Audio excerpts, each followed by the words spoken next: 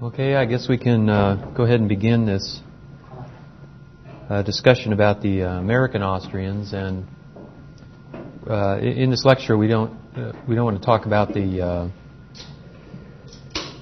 uh, late 20th century American Austrians or the 21st century American Austrians. In other words, we don't want to talk about ourselves. we want to talk about the American Austrians of the of the uh, early 20th uh, century, of the turn of the 20th century.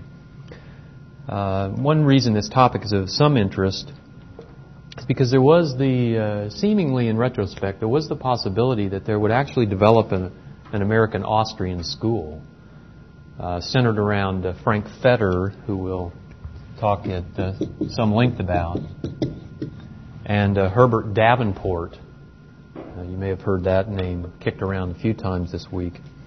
Um, both of them were uh, Mengerian. Both of them uh, were strict uh, subjective value theorists.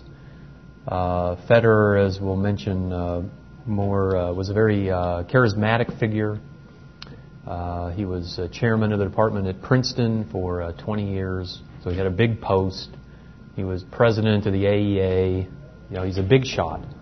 He wasn't the biggest of the big shots, but he was, you know, well-known economist in his day. uh, but for various reasons, which which I won't go into because I really want to just talk about the uh, views of these different uh, thinkers. Um, n- nothing came of this.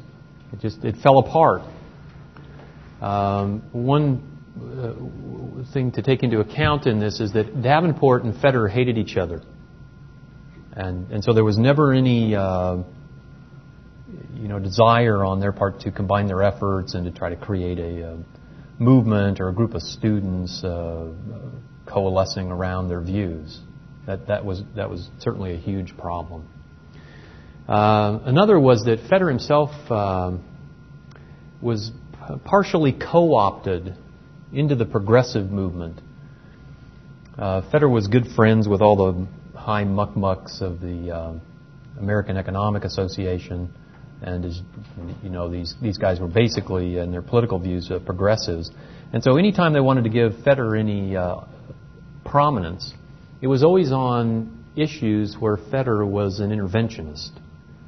And this was uh, especially true. They they found one area where where Fetter was uh, not sound, and this was on antitrust. And so he got all he, got all these appointments to government commi- excuse me commissions uh, on antitrust, and he uh, Pittsburgh Steel cases and so on and so forth in the early uh, 20th century.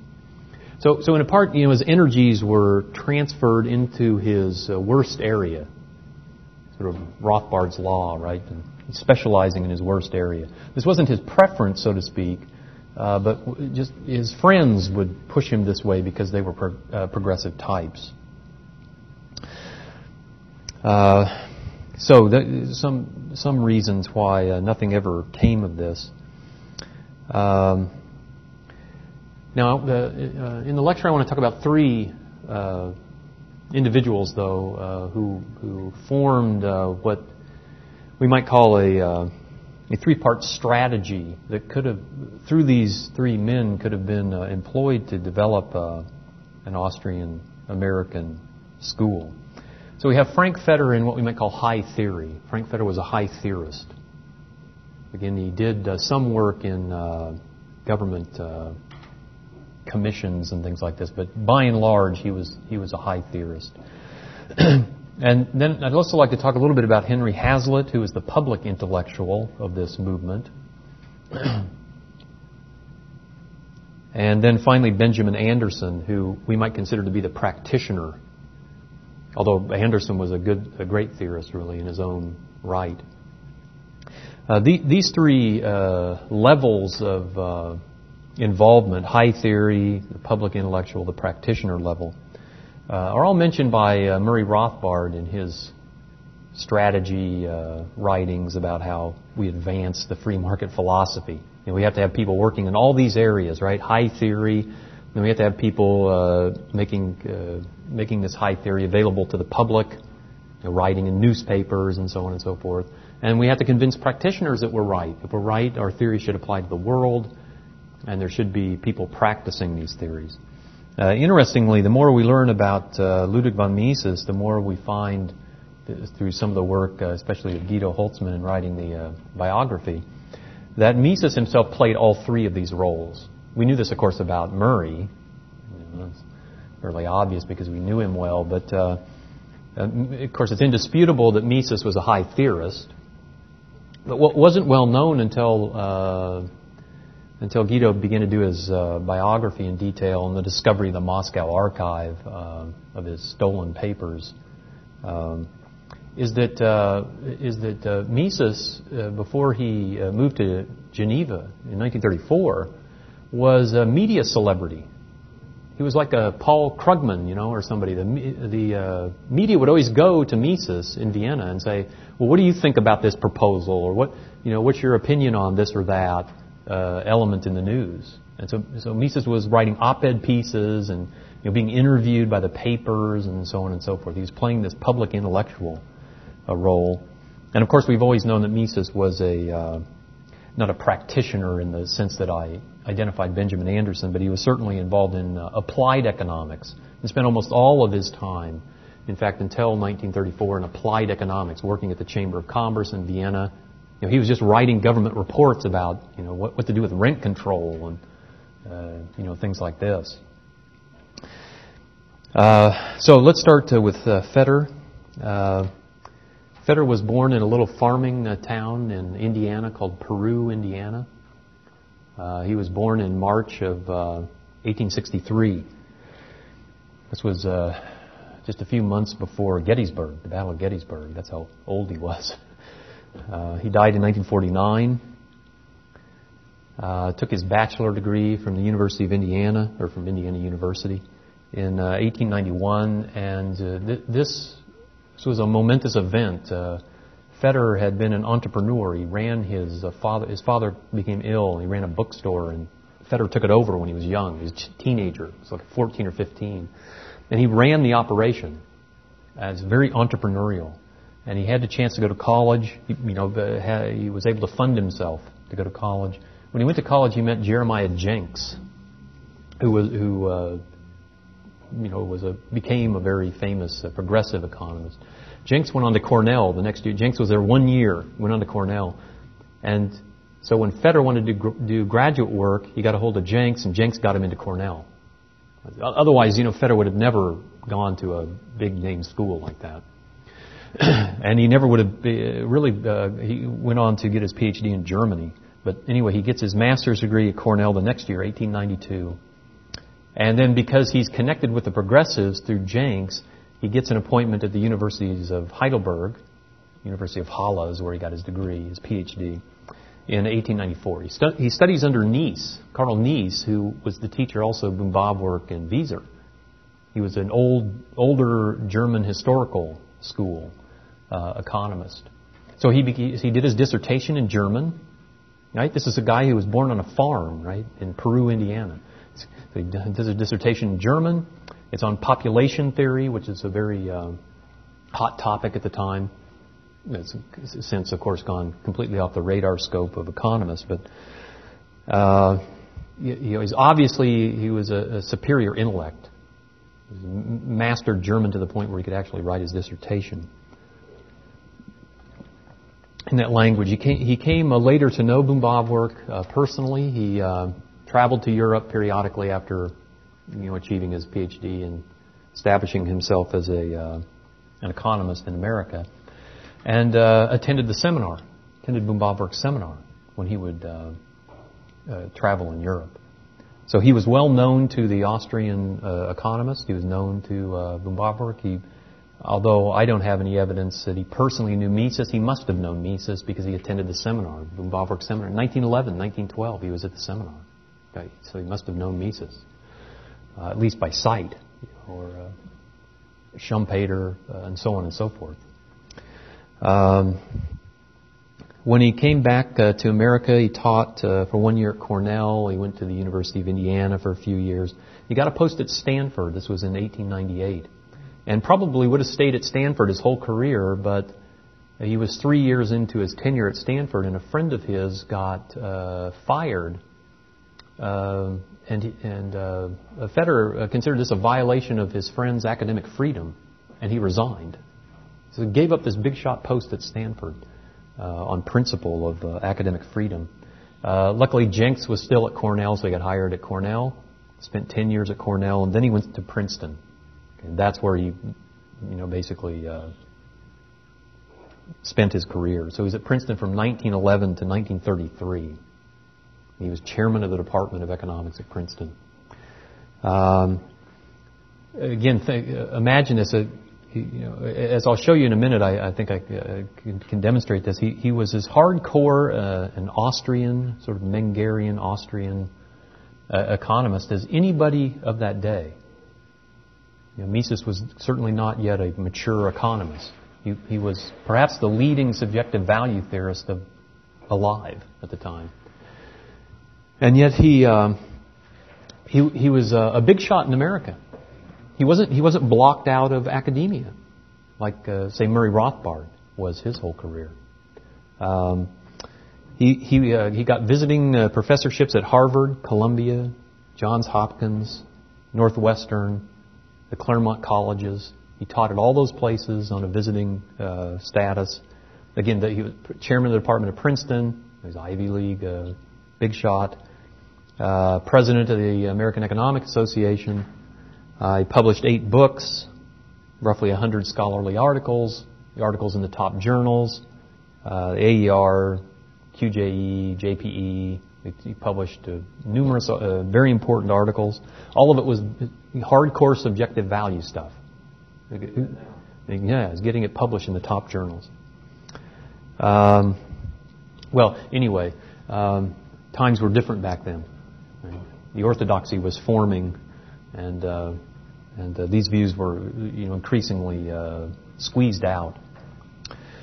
Uh, so let's talk a little bit about his uh, contributions. Uh, he's he's best known for his work in capital and interest, which we've talked about earlier in the week, and perhaps because of the book that Murray Rothbard edited by that title. Uh, it was articles that Fetter had written uh, in the 1890s and, and, through the early decades of the 20th century.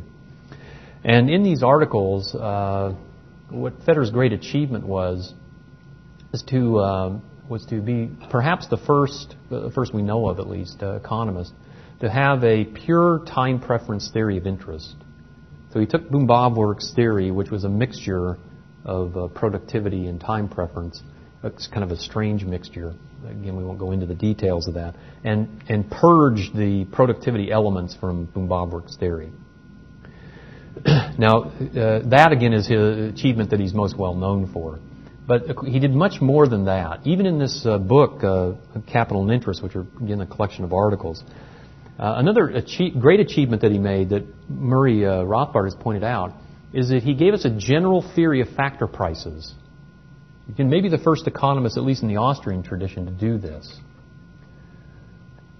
So it was Fetter who first laid out the theory of rental prices that uh, wages paid for labor and uh, rental prices for land and rental prices for capital goods can, are all analyzed in exactly the same way. Their theoretical explanation is identical.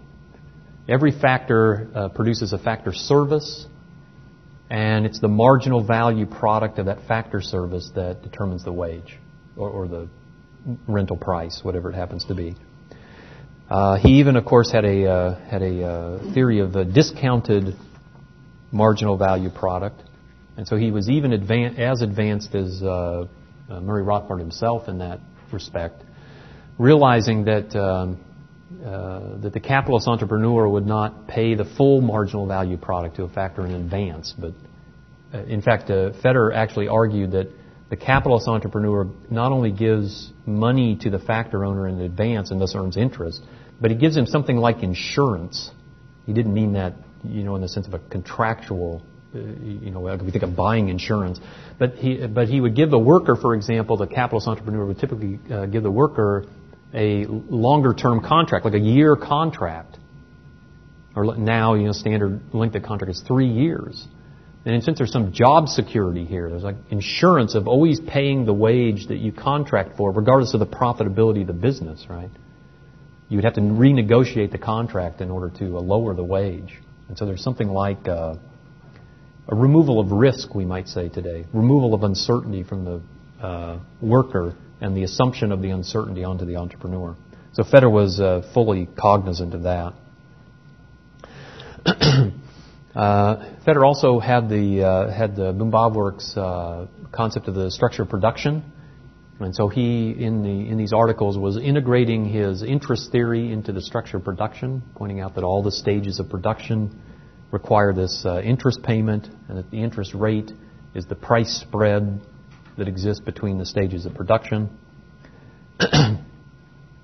he argued in a typical Austrian way that time preference is a part of man's nature. It's just, it's just bound up in the nature of reality that we have time preference. It's again a very Misesian way of uh, arguing about it. um, he also used the time preference theory to rebut the uh, exploitation theory of, uh, of profit. So the, it was a very common theory back then that the profit exists because uh, the capitalist entrepreneur is able to exploit the worker. He pays the worker less than the value of his marginal product and keeps the surplus value. And Fetter showed no, this surplus value is a payment for interest. It's not an exploitation of the worker. The worker agrees to the discounted marginal value product when he's paid his wage and, and not the marginal value product. Uh, okay, uh, but Fetter's main book was uh, Principles of Economics.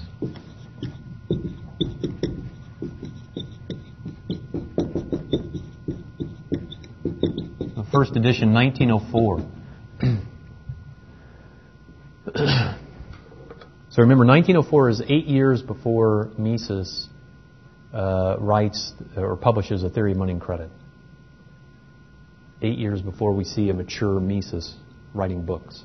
Fetter puts out his uh, magnum opus.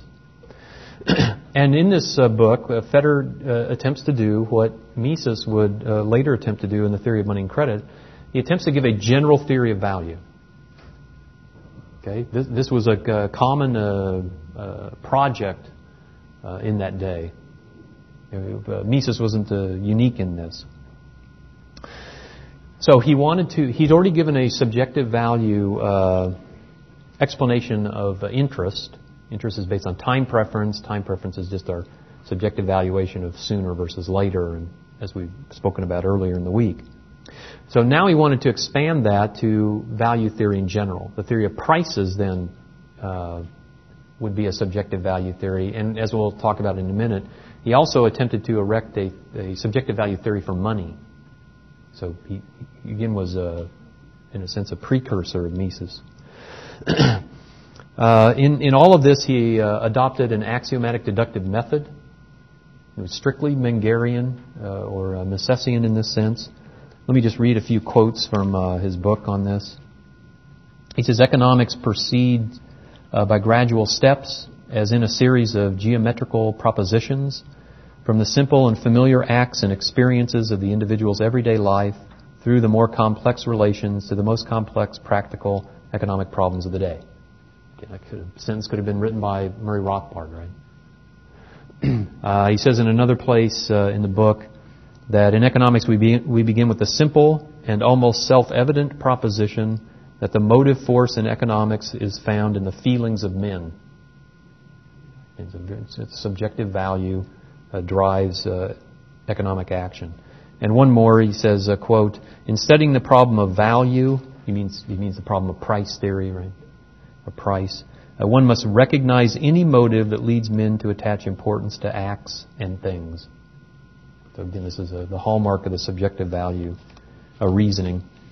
Uh, as we spoke about before, earlier in the week, when you have a subjective value theory of a price, it's based upon the law of diminishing marginal utility. And so uh, Fetter uh, talks about this. As with time preference, he considers this to be the nature of man. This is the nature of man. Somehow it's just embedded in reality that there's diminishing marginal utility. And when we have ne- another unit of a good, its value is applied to a lesser uh, valued option, or it's a, it is applied as a means to a lesser valued option. Uh, he, he built both supply and demand from this um, basis. And so he said, he said behind the demand and supply, both the demand and supply curve is nothing but subjective value. The seller is giving up more units of the good, and thus the marginal value rises along the supply curve. The buyer is obtaining units of the good that he values less, and so we move down the demand curve. So we're left with nothing but uh, subjective value behind the price. Uh, he also adopted uh, Böhm-Bawerk's uh, theory of the uh, price being set by the marginal pairs of buyer and seller. This is something we didn't get around to talking about uh, earlier in the week, but just to use the graph to illustrate, there's some uh, buyers who are willing to pay higher prices than the market clearing price, right? We might locate a buyer up here, his demand up here. In modern uh, language, we would call this a super marginal buyer, right? Someone who's willing to pay much more than the market price to buy the good. Then there's sub marginal buyers.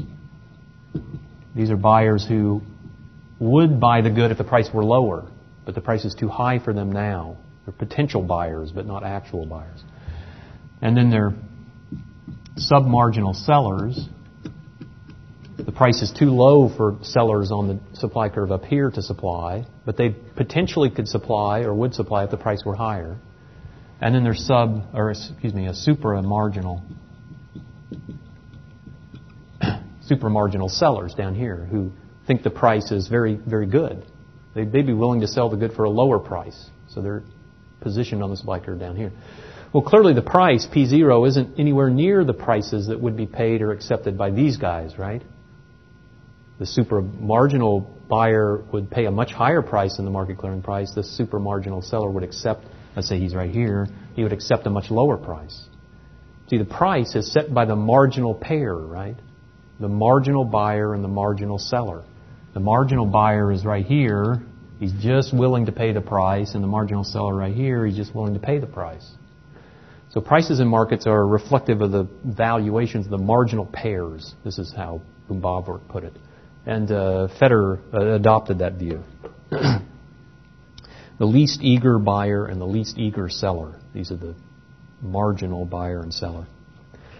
Uh, Fetter was also very big on the law of proportionality. This was a major contribution that he made to economics that uh, Mises cites in Human Action.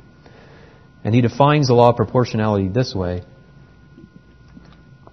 He says it's the fundamental axiomatic truth that there is a best or proper adjustment of means and ends in man's action.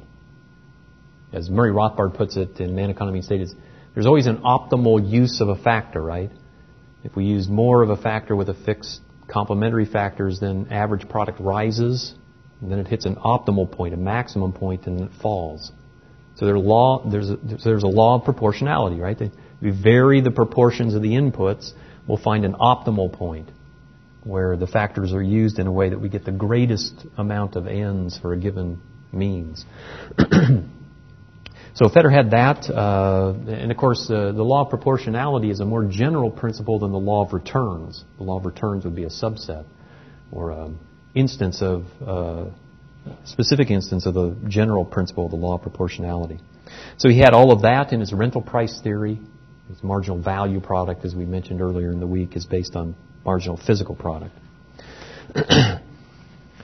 uh, then from from this uh, theory of uh, rental prices, he uh, also established the theory of capital value. So he went on to point out that the purchase price of assets has to be equal to the discounted uh, value of their uh, marginal uh, product over time, the stream of their discounted marginal value products. and he was uh, he was uh, also quick to point out that uh, in this calculation of discounted marginal value product, the productivity of the factor affects the marginal value product of the factor, and it enters into its rental price then. But the interest rate is independent of that. The interest rate is what you use to discount the value of the output that's produced by the factor. And so the productivity of the capital good doesn't affect the interest rate. It affects only the marginal physical product of the factor.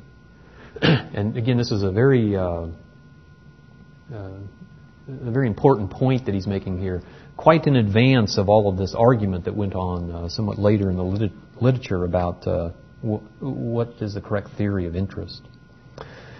Uh, I mentioned he had a subjective value theory of money. Uh, he divided money into the following types.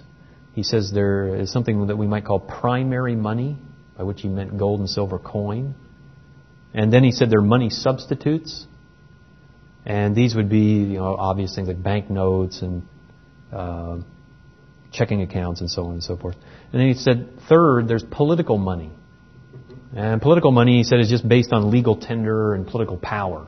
Yeah, so political money is something else, right? It's a different category of money from uh, primary uh, money and uh, money substitutes.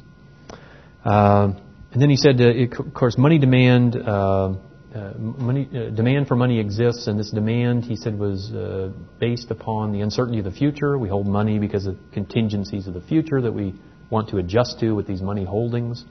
So it's subjectively evaluated just like uh, any other good. And he also uh, had a theory of arbitrage about money's value. It's something like Mises's uh, purchasing power parity theory of exchange rates, where you recall Mises goes through this elaborate, elaborate argument in theory of money and credit, and he says, okay, what if we have uh, one geographic area where this money uh, is a medium of exchange? Okay, then its purchasing power is determined by demand and supply of the money Okay, well, what if it's used in two different geographical locations? What if, what if the money can be exchanged uh, for another money somewhere else and thus used indirectly, so to speak, in some other geographical location? Well, he says, well, obviously then the purchasing power of the money will have to be the same in these different markets, right? Have to be the same. The value of the dollar would have to be the same in the United States as it is in France. If it wasn't, if it were higher in France, then arbitrage uh, could take place. You could earn a capital gain by transferring money, the dollar, through the franc into France and buying French goods. And so, inter, uh, excuse me, exchange rates would adjust to make the purchasing power of money the same everywhere. This is the purchasing power parity theory. Now, Fetter didn't have that theory, but he did have the rudiments of it. He said, arbitrage, if money's tradable in two distinct geographic markets, arbitrage will make its value the same. So, purchasing power of money in New York state is the same as it is in Nebraska. That, that was his argument. And again, this is repeated by Mises in the Theory of Money and Credit. Uh, his theory of growth was, uh, was straight uh, Austrian, uh, based on capital accumulation, saving, and investing. And of course, he recognized that time preference is a key to all this. Time preferences go down, we save more, we invest more, we build up the uh, capital structure.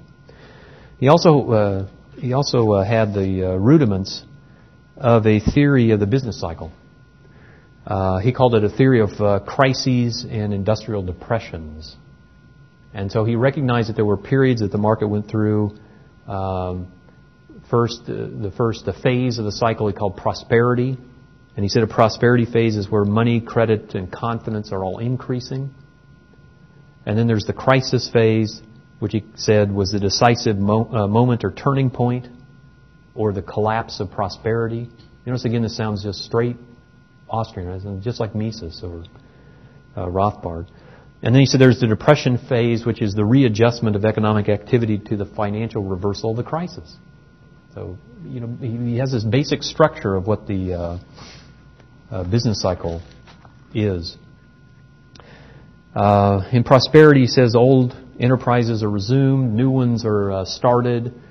Uh, they're spurred on by profits that are created by uh, the additional money that's coming into the economy. Um, he points out that these pro- he calls these profits partly illusory. They're just on paper. They're not real. They're not realizable, but they're just uh, fictitious. And then these profits spur entrepreneurs begin to demand the factors, and so wages begin to rise, and you get this period of prosperity. Uh, and then he says the, the thing that brings on the crisis is specie outflow. Remember, he was writing in, in, the era of the gold standard, the classical gold standard. So once again, if we have a situation where, let's say, the dollar uh, supply is increasing in the United States, and so its value goes down in the United States, but exchange rates haven't moved internationally, then arbitragers will begin to move the dollar overseas. There'll be dollar outflow, right? Or gold outflow. and the gold outflow then reverses the process of monetary expansion domestically. And so that was the mechanism by which the uh, boom came to an end uh, under the gold standard. So he recognized this. Uh, money outflow would collapse, the increase in the money supply, profits would reverse. He said the banks would uh, uh, have to retrench their lending because their reserves would have to be replenished. So they'd have to sell off their loans and uh, hold, hold larger reserves. Uh, stock and bond prices would fall as demand for them collapsed. And so we get the whole uh, process of the, of the crisis. Uh, he says the crisis is the forcible and sudden readjustment of mistaken capitalization of productive agents. Again, a sentence could have been written by uh, Rothbard. uh, the Depression then is a period of readjustment where the uh, factors of production are reallocated into their uh, best uh, uses, given that they've been misallocated during the boom. And then uh, finally, let me talk briefly about his theory of entrepreneurship. He was very sound on entrepreneurship. As I mentioned, this perhaps came from his practical experience as an entrepreneur. He was very good at running his father's bookstore uh, uh, when, when, he was when he was quite young, and this entrepreneurial spirit uh, seemed to be part of his uh, makeup. so he he calls the entrepreneur the enterpriser. That's his word for it in uh, his principles book. He says the enterpriser has the skill of judgment, and by judgment he means an accurate assessment of the future. Um, he says different people have this skill in different degrees. And so in the market, uh, we tend to see a competitive process weeding out those who are lesser able to do this, and uh, those who are better able uh, are successful. And so, just like uh, in any uh, part of the market economy, competition tends to uh, arrange the division of labor in, in the proper way, so that always the person with the greatest comparative advantage gets that task. Um, the entrepreneur then earns a profit as his income, and this uh, income accrues to him based upon the accuracy of his foresight.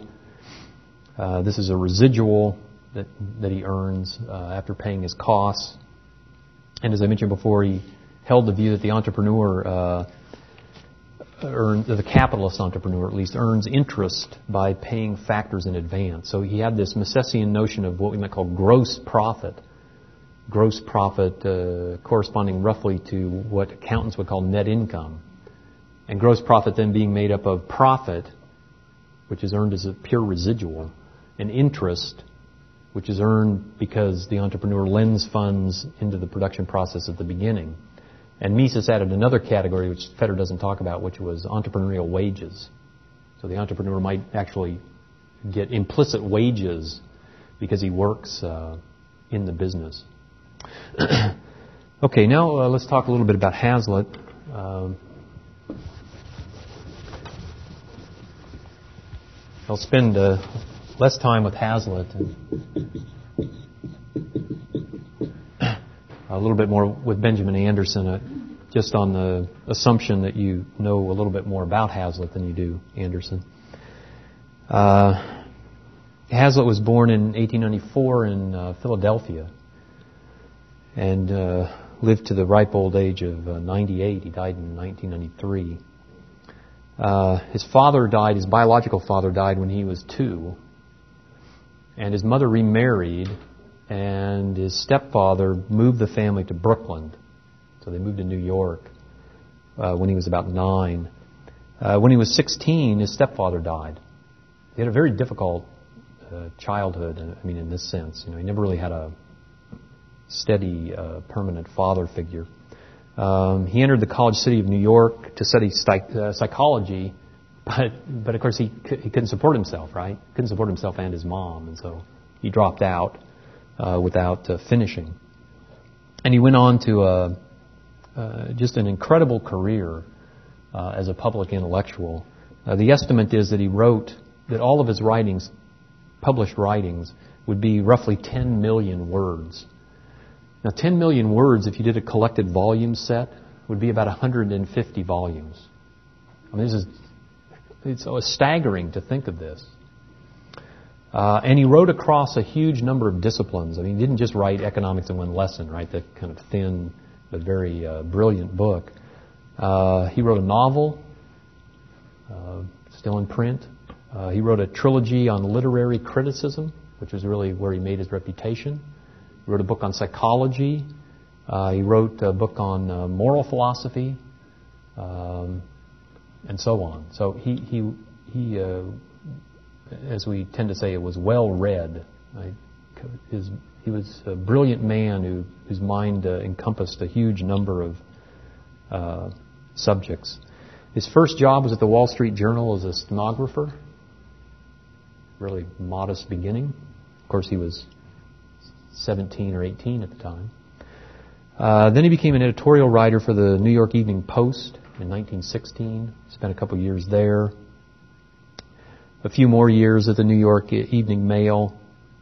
Uh, his first uh, big job, though, was with the New York Sun in 1924 to 29. He was literary critic.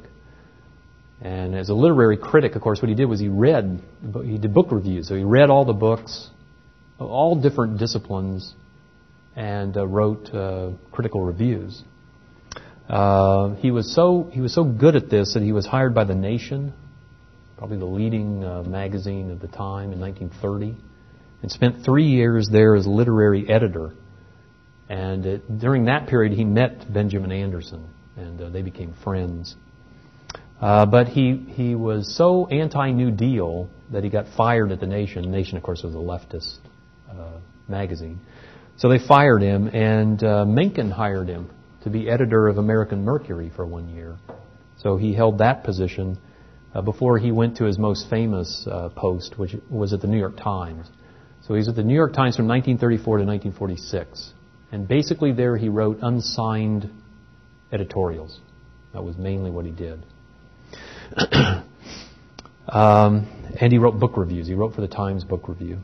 Now, he did two famous book reviews in this period with the New York Times. The first was Socialism. He reviewed uh, Mises's book when it came out in English. He did this in January of 1938. He sent his review to Mises, and of course it was a very favorable review, and uh, Hazlitt uh, recognized the argument right away, that how devastating the book was uh, to the socialist project. And so Mises writes him back and says, "Oh, you know, this is one great, and uh, you know, if you're ever in uh, Geneva, look me up, and so on and so forth." So they, they became correspondents. And when Mises uh, immigrated to uh, the United States in 1940, it was Hazlitt that met him at the dock. It was Hazlitt that met the boat and took uh, Ludwig and his wife Margaret into New York City. It was Hazlitt that got uh, Mises his first job in the United States, writing unsigned op-ed pieces for the New York Times. And uh, Mises did this and earned a little bit of money uh, writing these editorials. And it was Hazlitt that introduced Mises to the people at Yale University Press and got his first two uh, English language books published, Bureaucracy in 1944 and omnipotent government in the same year. And it turns out that uh, Hazlitt did more than just introduce Mises to Davidson and the other guys at Yale University Press. Hazlitt essentially rewrote these books in English. Mises, when he came to the United States, English was maybe his third or fourth language. Of course, was German speaker, native German speaker. He spoke uh, fluent French. He knew Italian, and he knew some English, but he didn't, you know, he wasn't well versed in these languages. He could read Italian and English, but, you know, not primary languages. And so when he began to write bureaucracy and omnipotent government in English, it wasn't very good. His English wasn't very good. So Hazlitt actually rewrote these books and got them published. And this, of course, his relationship with Yale University Press is what led to Yale uh, taking on the bigger project of human action. And just maybe a little side story here. The people at uh, Yale were very, very concerned, Yale University Press were very concerned about this project. Uh, so Mises comes to them and he says, You know, I have this 800 uh, page book. It's called Nationalökonomie. It's in German. I want to rewrite it in English. Well, see, they remember the experience, right? They've already published two books by Mises that had to be written by Hazlitt essentially. You know, rewritten, heavily edited. And so they're, well, I don't know do we want to really do an 800 page book? It's one thing to do a 150 page book that Hazlitt has to rewrite or that, you know, we have to have 10 uh, editors uh, go through. And so it was, well, yeah, but we might be interested in this. Send us a few chapters. You know, very, they were very cautious. And uh, they did everything through Hazlitt. Okay? They said, Mises is going to send you the stuff and you tell us if it's any good. And so they send it to Hazlitt. Uh, Mises produces his first couple chapters and he sends them to Hazlitt. And Hazlitt just, Hazlitt says, well, he writes back to me and says, well, you know, this is just like perfect. There's nothing else I can say here. He said, he said the only thing I could uh, do is, uh, you know, if you wanted to write this book as a journalist would write it, I can give you some tips. And so he made some remarks about that. But then he just sent the pages with almost no corrections at all to Yale, and they, they were just effusive in their praise. Oh, this is wonderful, you know, and then they just dealt directly with Mises from now on. So, uh, so Hazlitt was really crucial to Mises' success in the U.S. And then secondly, uh, Hazlitt uh, reviewed uh, Road to Serfdom um, in September of 1944. And it was that review that led to its uh, Reader's Digest version, which made it so popular in the U.S. Because Hazlitt, once again, you know, was, was uh, like the leading literary critic of the day. And so when he favorably reviewed a book, and its reputation was uh, greatly enhanced. Now, his own book, uh, most famous, was Economics in One Lesson. It was published in 1946. An academic or a uh, economic uh, bestseller, sold well over a million copies. Uh, Mises, Mises himself then vetted this book. Mises went through this, you know, looking for mistakes, and uh, and uh, Hazlitt credited Wicksteed and Bastiat. Of course, as you know, this book is basically Bastiat updated for the 20th century. Um, his, uh, his main uh, points in this book that a uh, good economist has to look at uh, the long run effects and not just the immediate effects of policy, and that uh, the good economist also always uh, traces the consequences of policy not merely for one group but all groups. That's the one lesson, right? And then the rest of the book is just the application. he then began to write during the time at the New York Times anti Bretton Woods articles who is a very uh, adamant uh, proponent of the gold standard. These have been collected into a book called From Bretton Woods to World Inflation. It was published in 1984. He predicted that the uh, pseudo gold standard would end in inflation and collapse, uh, but he was uh, fired from the New York Times two years after Bretton Woods was signed know, the editor basically went into him and said, look, you know, this has been signed by 43 countries. Bretton Woods was signed in 44, I guess. And, uh, you, uh, you know, you got to quit writing these uh, negative articles about it. And he, said, and he just said, well, I can't stop writing the articles. You know, this is my view. I just think I think it's going to end in collapse and so on. And he maybe wasn't exactly fired for that. You know, at this on that uh, on that spot at that moment, but basically he was pushed out because of his uh, pro gold Uh, stands. He was then hired by Newsweek, and he uh, wrote uh, a column for Newsweek from 47 to 64. Most of this work was uh, was uh, at first against the war economy. So he's calling for the repeal of all the war intervention in the economy, and it was anti-New Deal stuff. So against the New Deal policies, against labor union privileges, and always calling for the restoration of the gold standard. Uh, he attacked the Marshall Plan and foreign aid in this uh, time period. Again, there's a book, Will Dollars Save the World, that was published in 47. He became co-editor of the Freeman in 1950, did that for three years. Uh, and then he began his anti-Keynesian writings. So he wrote his line-by-line refutation of the general theory called The Failure of the New Economics. 1959, and the next year he came out with Critics of Keynesian Economics, which is a collection of essays um, which at the time were the best uh, essays uh, against Keynes. He moved to the LA Times in 1966, spent uh, uh, about four years writing there until 69. Uh, and even into the 1980s, he was still writing for the Freeman. He wrote for Human Events. He wrote for National Review. Uh, you know, almost up to the end of his life. Uh, he had a great attack on the welfare state in 1968. He wrote a book called Man versus the Welfare State.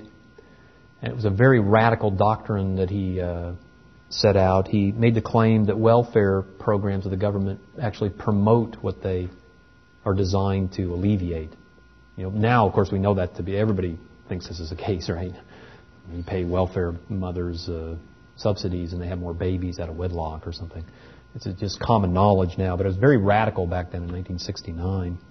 And then he uh, wrote The Conquest of Poverty in 1973, which is his positive program for alleviating poverty. If you can't have welfare programs, what do you do? And he showed in that book uh, the history of how capitalism had uh, raised the uh, standards of living of the poor. So it's basically an historical study on how the free market uh, alleviates poverty. Now, uh, let me then talk about Benjamin Anderson. Anderson, as I mentioned, was the uh, practitioner, so to speak, of the group. he was born in uh, Columbia, Missouri in 1886. Uh, and uh, like Fetter, died in 1949. He got his bachelor's degree from the University of Missouri, 1906 did a master's at the University of Illinois in 1910, and got his PhD at Columbia in 1911. So again, was a know, big shot university. It was a, a well respected, uh, excuse me, degree. Uh, he taught uh, he taught uh, for a year uh, at Columbia, and then went to Harvard, and he spent four years at Harvard as an assistant professor. And my guess is I don't know this for a fact, but my guess is he didn't get tenure. Right, he's four years, and so he's probably coming up for tenure. Didn't think he was going to get it, and he went to uh, he he went into banking so he became economist for the National Bank of Commerce in 1918 and editor of, uh, of a publication they put out called Commercial Monthly. And then after that, in 1920, he took the post for which he's famous. He was chief economist for Chase Manhattan Bank uh, from 1920 to 1939, and he uh, he edited Chase uh, Economic Bulletin from 1920 to 1937. So he, he was the top economist at Chase Manhattan Bank for uh, the 20s and the, thir- and the 30s. Uh, then in 1939, he uh, went to UCLA, got a professorship, uh, named professorship at UCLA, and spent 10 years there. He died of a heart attack in 1949. He died somewhat prematurely.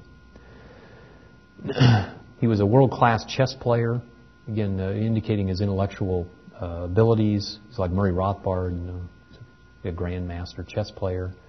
Uh, he wrote a book on chess, a, a, primer on chess. He published in 1935. And so he had w- wider ranging interests than just sort of, you know, what, what do I do in banking? Typical of the intellectual scope of these guys. Now, his first publication was Social Value. His first book. This was uh, 1911. this was his uh, PhD dissertation. And in this book, he addressed the, uh, the uh, primary question of value that was being discussed in, in the uh, economic uh, literature of the day.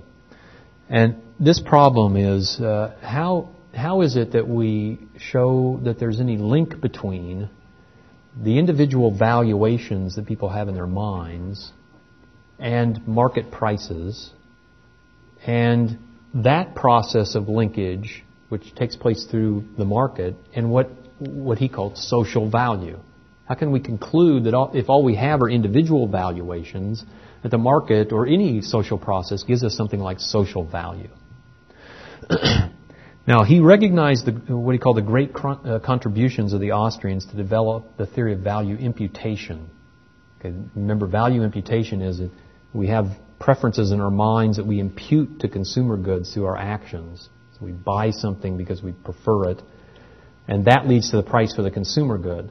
And then entrepreneurs impute that value back to the factors of production with their demand. So they buy the factors of production depending upon the value of the consumer good. So, so Anderson said, yes, this is all correct. This is a great contribution, and uh, no theory of value could be without this. But he said that doesn't that doesn't quite get us to the uh, last uh, question. It doesn't answer the last question which is what does all this have to do with social value? How, do, how does this give us a social value for things? Why don't we just say that this is still just individual value for things?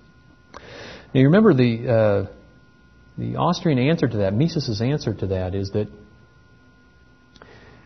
uh, well, put, to put it in, uh, in uh, Anderson's terms, there's no such thing as social value. That's Mises's answer. You know, we, th- this is a, it's a, it's a false proposition to say that we have to come up with something like social value. All we have to do is to show that the division of labor economizes, that is, it allocates factors to the highest valued uses. We don't need social values to do that. We simply need a, a way in which the individual values of uh, consumers can be manifested to permit entrepreneurs to make profit calculations. If that's sufficient to economize on the use of factors. And so we just we skip this last step of social values, just unnecessary. Now Anderson didn't think so. Anderson thought, no, you have to have an actual social valuation in order to say that you're, you know, maximizing welfare or, you know, creating the greatest social value. now he also thought to, to give you the kernel of debate here, the crux of the debate. He also thought that marginal utility theory the standard uh, approach to price theory, was not a causal theory. This is where social value enters into thing, enters into things. He thought margin, he thought the argument was this that our preferences, our marginal utilities for things, are somehow added up in monetary terms. So we say we have preferences in our minds, and that generates revenues, and the revenues are somehow the embodiment of the uh, aggregation of our values. That, that's entirely wrong, right? I mean, Mises never made this kind of argument. Of course, he's writing this in 1911. Mises hadn't written, but th- this wasn't the argument all along by Böhm-Bawerk or anyone else. so he, he sort of he sort of misunderstands what the nature of the Austrian position was here. And so he attacks the marginal utility theory by saying, well, it's not a, it's not really marginal utility, uh, utility theory. It's not really a causal theory. And his argument was it's not a causal theory because our preferences in our minds are not established by our own mental valuations. We don't somehow, in a hermetically sealed room, figure out what our preferences are. Our preferences are determined by society. They're determined by the social mind, he called it. It is a very popular idea back then. Even Hazlitt uh, liked to uh, use the concept of the social mind. The social mind is basically the uh, conventions of society, the fashions, the mores, the you know, cultural uh, uh, manner in which people conduct themselves you're saying that our personal preferences are developed by that. Are, are yeah? He Anderson would even go farther and say they're somehow determined by those even. Yeah. Here, here's then where you get a causal theory, right? The, and he didn't, by the way, say that the social mind was something distinct from individual action. He didn't say the social mind somehow exists uh, and imposes the preferences on us. He, he said the social mind, of course, is the result of individual action in some sense. But, on the other hand, it's also the thing that determines at least the scope or the range of our action. It's a very, it's a very difficult theory to grapple with.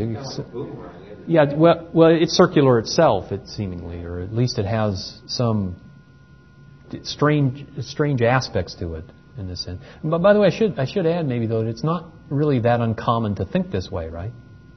I often get this kind of response uh, when I go through uh, price theory. Well, a student will say, "Well, yeah, it's all well and good, but uh, we don't determine our own preferences. I mean, our preferences are sort of determined by all the conditions of our life." And well, that, you know, sure, that's right.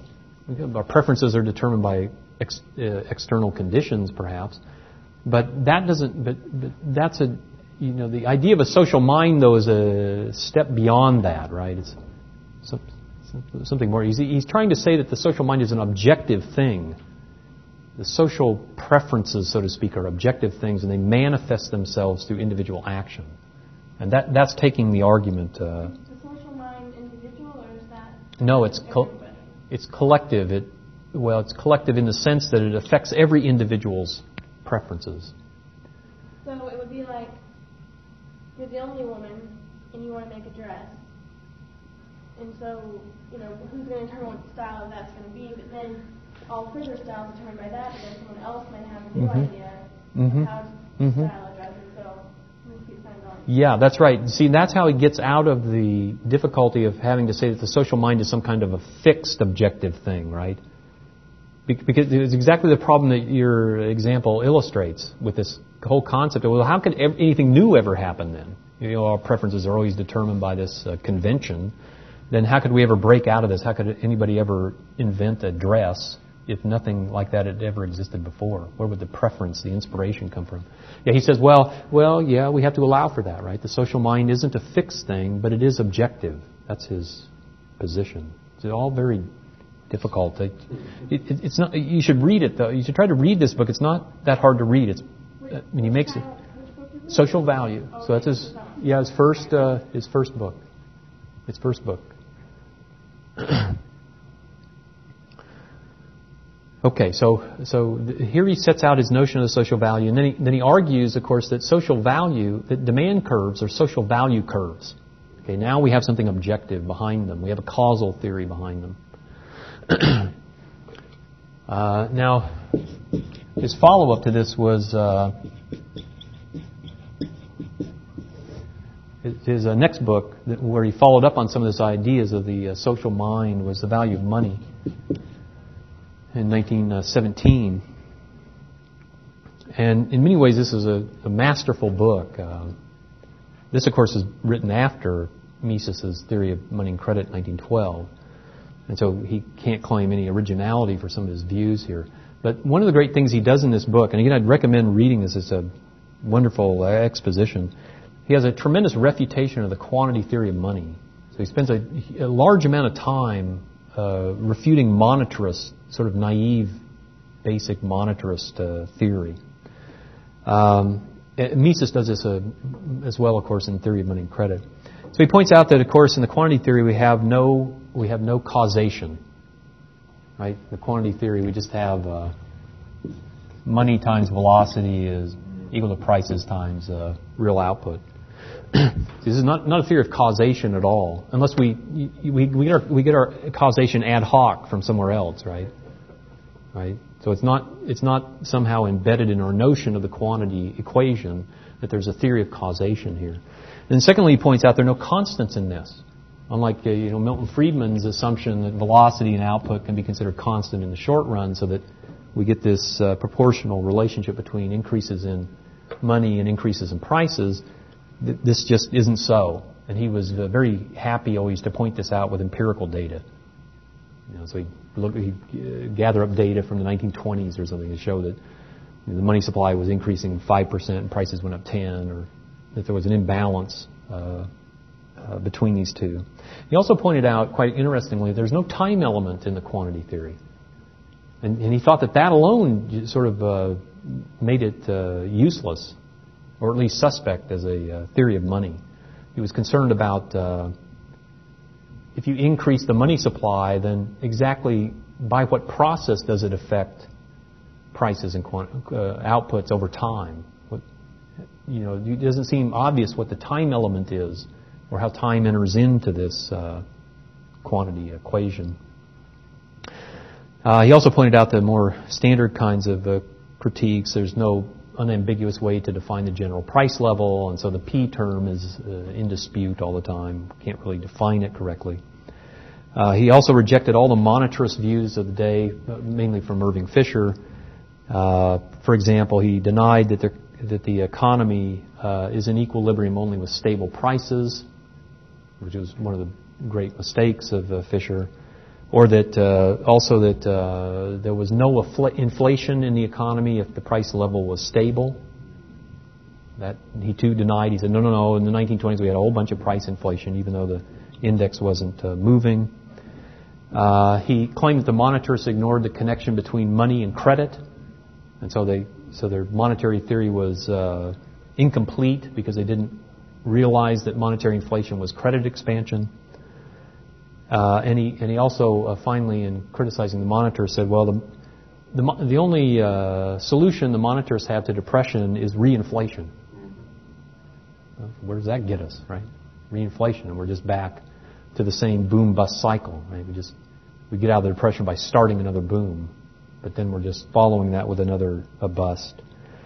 Uh, he insists in this book that the macroeconomics has to be uh, micro-based, to be non-aggregate and uh, non-mechanistic. And uh, like Mises in 1912, he insists in this book that you have to have a general theory of value. If you have a subjective value theory for price, then you have to have a subjective value theory for money. If you have a theory for uh, a price that's based upon the social mind, upon social value, then you have to have a social value theory of money. And so, you know, he's right about part of this, right? You need a general theory of value, but he uh, based his value of money on social value. So again, he said that the value of money is socially determined. It's determined by social value, determined by convention, we might say, that then operates through individuals as they demand and supply money. Uh, he was well aware of Mises's uh, regression theorem in his book. Uh, he's aware of uh, theory of money and credit, but he claimed that Mises had not solved the circularity problem. He had not solved the Austrian circle in his regression theorem. And he argued this in the following way. He said, he said, any price theory, any, there's a kind of Austrian uh, standard price theory, depends upon three presuppositions. One, that there's value, we, we have preferences in our minds. And second, that we have money. This is a monetary theory of value. And third, that the value of money itself is fixed. You see, there's a confusion here between money's value being fixed and money's value being objective. Mises in the, in the regression theorem was simply pointing out that money's value is objective. That is, our subjective value for it is based upon its objective value, right? His, his regression theorem doesn't depend upon money's value being fixed. That, that's entirely different.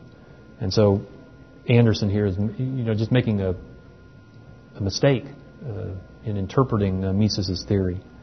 But Mises hailed this book. He thought, you know, thought Anderson was a great economist, and he liked this book uh, despite its uh, shortcomings.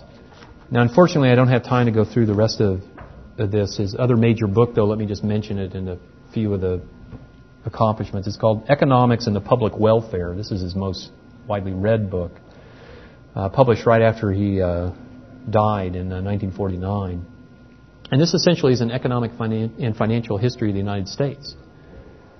From uh, you know right uh, right before the war, World War One, until the end of World War Two. It's a fantastic book. Uh, it's filled with uh, uh, devastating theoretical criticisms of competing views like Keynes and the monetarists. And it's a very uh, empirically oriented, so he has a lot of data that show uh, the boom bust cycle. He was a believer in the Austrian business cycle theory. And so he documents all this. he interestingly divides the, the New Deal uh, precisely the way that Murray Rothbard does. He says the New Deal had two phases. The first began in 1924 right, with tariff policy and monetary inflation of the Fed, and ended in 32 when, when Hoover was uh, retired from office. And, uh, and you know, so he chronicles the boom bust uh, in, uh, Fed inflation, uh, criticizing the surrender of the gold standard, and so on and so forth. And he says the second phase was 33 to 39 of uh, of the New Deal. and he even points out that in the latter period, um, there, it was in uh, two parts, right? The Great Depression was in was in two parts, so to speak. The early depression of 1930 to 33, then there was a recovery in the mid part of the decade, and then another collapse uh, 37 and on. And he points out that the the rally in 35, 37 he attributes to the fact that the courts were beginning to strike down the New Deal policies. And then Roosevelt packs the courts in 37 and they reverse and the economy collapses. So it's quite an interesting uh, position that he takes there. And then finally, let me mention Bretton Woods. He uh, was very much against Bretton Woods, similar to Hazlitt's view. And he, uh, he uh, also identifies the cause, what he considered to be the cause of Bretton Woods why did Bretton Woods become popular? And he says it was because of Lend Lease, the U.S. Lend Lease policy uh, during the war, since it was heavily devoted to Britain. We were lending much more money to Britain than other places. It caused massive devaluation, uh, move, uh, currency movements, devaluation of the pound especially.